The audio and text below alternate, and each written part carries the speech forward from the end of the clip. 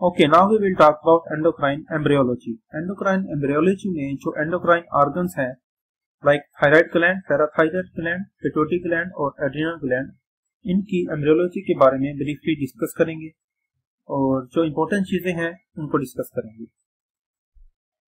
हम स्टार्ट करते हैं हमारी discussion with the embryology of thyroid gland thyroid gland के डेवलपमेंट का जो प्रोसेस है वो कैसे है उसको डिस्कस करेंगे हम बात करेंगे कि जो थायराइड ग्लैंड है, उसकी डेवलपमेंट जो है, वो कैसे स्टार्ट होती है, उसका प्रोसेस क्या है। Actually during the period of development जो फ्लोर ऑफ़ माउथ होता है near the foramen caecum floor of mouth पे, जहाँ पे जो फोरमेन सीकम होता है, उसके करीब क्या होता है एंडोडर्मल जो सेल्स होते हैं, उनकी प्रोलिफरेशन स्टार्ट होती है। ये जो एंडोडर्मल सेल्स होते हैं which come from the endoderm layer इनको एंडोडर्मल सेल्स कहते हैं। सो so, बेसिकली हम यहाँ पे ये कह सकते हैं कि जो thyroid gland at the end develop होता है it is endodermal in origin ठीक है? एंडोडर्मल सेल्स की प्रोलिफरेशन होती है near the foramen caecum in the floor of mouth during the process of development ये जो एंडोडर्मल सेल्स की प्रोलिफरेशन होती है दे मेक द बड जिसको हम थायराइड बड कहते हैं। It is called thyroid bud अब ये जो थायराइड बर्ड होती है, ये फिर डिसेंड डाउन करती है। It descends down in the neck ये नेक एरिया तक पहुँचती है। और इसको हम कहते हैं थायरोग्लोसल डक ठीक है? ये थायराइड बर्ड पहले बनती है, उससे फिर एक लॉन्ग डक बनती है, इसको थायरोग्लोसल डक कहते हैं। Which which reaches to in the neck area जब ये डक नेक एरिया पे पहुँचती है, जहाँ पे नॉर्मली अडल्ट में थायराइड ग्लैंड जो है, मौजूद होता है, उस एरिया में जब ये थायरोग्लोसल डक पहुँचती है तो वहाँ पे क्या होता है? तो बेसिकली जो लोअर पार्ट होता है डक का अपर पार्ट मिडिल पार्ट और जो लोअर पार्ट है, इनके साथ क्या होता है? जो लोअर पार्ट होता है थायरोग्लोसल डक का, ये जो लोअर पार्ट के सेल्स होते हैं, इनकी प्रोलिफरेशन स्टार्ट होती है। लोअर पार्ट के जो सेल्स होते हैं, इनकी प्रोलिफरेशन स्टार्ट होती है। और क्या होता है, जो ग्लैंड है, जो सेल्स होते हैं, वो साइड्स पे एक्सपेंड करते हैं। प्रोलिफरेशन स्टार्ट होने के साथ वो साइड पे एक्सपेंड होते हैं and they make the thyroid lobes thyroid lobes बनाते हैं एंड देन थायराइड ग्लैंड इस तरह जो है थायराइड ग्लैंड बनता है। और इसके साथ ही जो मिडल पार्ट होता है हाइड्रोग्लोसल डक्ट का मिडल पार्ट की डिजेनेशन होती है फ्यूज होता है और इसकी ऑब्लिट्रेशन यानी डिजेनेशन होती है। और अपर पार्ट जो है, ये इंटेक्ट रहता है as the foramen cecum. So, foramen cecum actually is the remnant of upper part of the thyroglossal duct. ठीक है?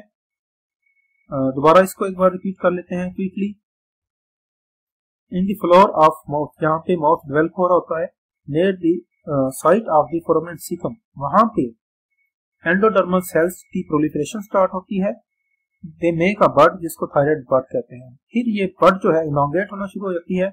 डिसेंड डाउन होती है इन the neck area neck area में पहुँच के तो यही जो डक्ट होती है, इसके तीन पार्ट्स हो जाते हैं। अपर मिडल और लोअर लोअर पार्ट पे जो सेल्स की प्रोलिफरेशन होती है और ये एक्सपेंड करते हैं साइड्स पे and at the end they make the thyroid gland middle part जो है फ्यूज होता है और ओब्लिट्रेट हो जाता है। और सिर्फ़ अपर पार्ट जो है, वो रह जाता है और उसको हम कहते हैं foramen caecum which is the remnant of the thyroglossal duct अब पैथोलॉजी क्या है? अगर ये जो मिडल पार्ट है थायरोग्लोसल डक्ट का, इसकी ऑब्लिट्रिफ्यूजन ना हो, फिर ऑब्लिट्रेशन ना हो तो उसके नतीजे में क्या होगा? It will result in persistence of the thyroglossal duct basically यहाँ पे जो चीज़ें डिस्कस की गई हैं, वही चीज़ें हैं जो अभी हमने डिस्कस की हैं। आप इनको रीड करेंगे तो आपको समझ आ जाएगी। At the end of discussion हमने कहा था कि जो थायरोग्लोसल डक्ट होती है, अगर ये ऑब्लिट्रेट नहीं होती परसिस्ट करती है तो उसके नतीजे में क्या होता है? It result in persistent thyroglossal duct अगर इस परसिस्टेंट थायरोग्लोसल डक्ट की सिस्टिक डायलिटेशन हो तो उसके नतीजे में क्या होगा? It will result in thyroglossal duct cyst formation अब ये जो थायरोग्लोसल डक्ट सिस्ट होता है it presents as the anterior midline neck mass, which moves with the swallowing and protrusion of the trunk. Important है। ये थायरोग्लोसल डक्ट जो है, ये मास बनाता है presents as a mass in the anterior midline neck mass ठीक है? और ये जो मास है, ये प्रट्यूट करेगा मूव करेगा with swelling and protrusion of the tongue protrusion of the tongue के साथ ही मूव करेगा क्योंकि it is attach in the level at the level of the floor of mouth foramen caecum के साथ। हमने कहा था कि जो फोरोमेन सीकम जो है, वो रेमनेंट है।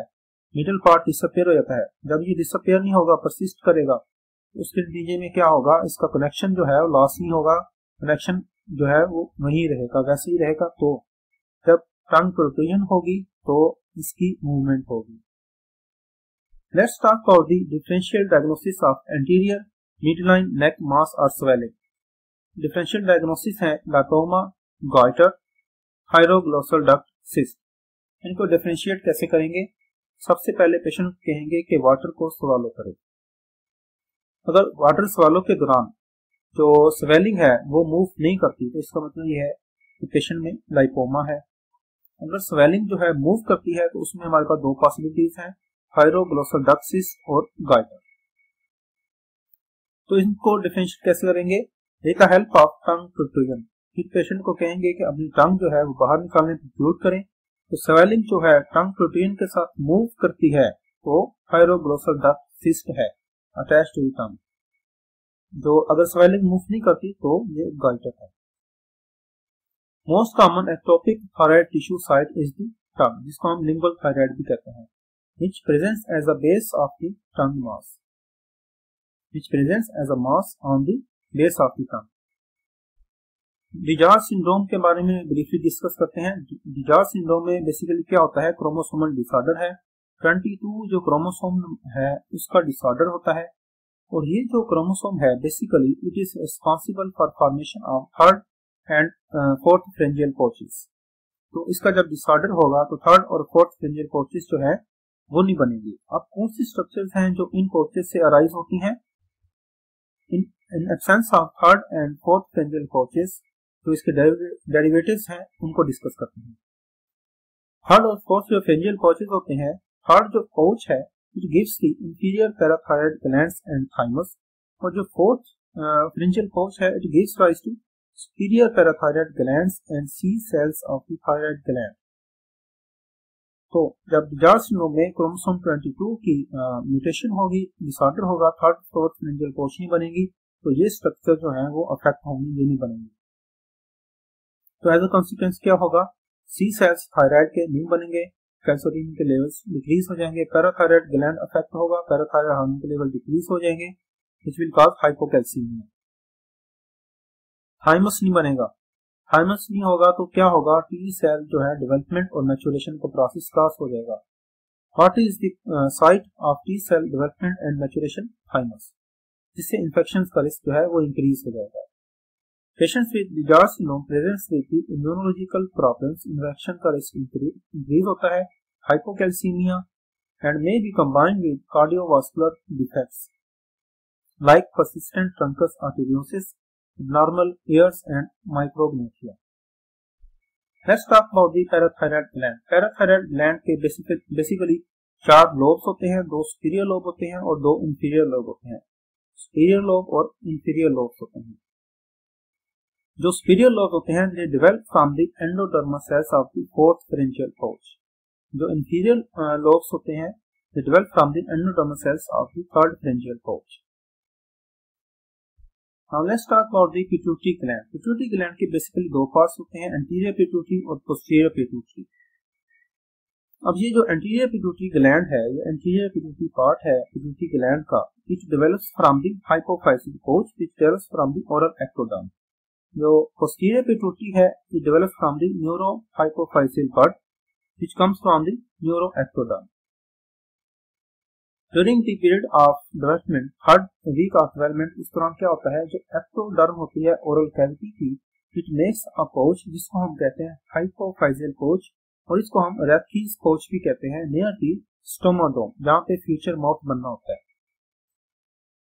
तो क्या होता है? During the period of third week on development जो एक्टोडर्म होती है ओरल कैविटी की एक बनाती है।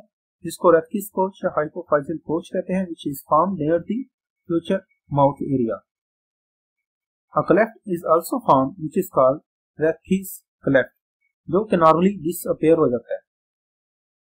And neuroectoderm makes a bud downward which is called neurohypophyseal bud तो ये जो न्यूरोहाइपोफाइजियल बर्ड होती है ये बनाती है पोस्टीरियर पिट्यूटरी ग्लैंड और जो हाइपोफाइजियल पाउच है which makes the anterior pituitary gland, ठीक है? अगर रेथकिस पाउच और रेथकिस क्लेफ्ट जो है, वो डिसअपेयर नहीं होता तो नॉर्मली डिसअपेयर हो जाता है तो उसके नतीजे में क्या होगा? There will be formation of tumour which is called craniopharyngioma what is craniopharyngioma it is a type of supratentorial cranial tumour tentorial मतलब ब्रेन में टेंटोरियम की बेस पे हम सुपरा टेंटोरियल और इंफ्रा टेंटोरियल स्ट्रक्चर्स को हम क्लासिफाई करते हैं। तो ब्रेनोफ्रेंजियम जो है, it is a tumour of the supratentorial cranial part. Cranial tumours which are present above और below the tentorium it is a cystic tumour of pituitary gland it is common in children इसकी complication क्या हो सकती है? It can result in increase intracranial compression and pressure जिससे intracranial pressure जो है वो इंक्रीज हो जाएगा और उससे रिलेटेड साइन सिम्टम्स डेवलप होंगे like headaches projectile vomiting which occurs through nerve stimulation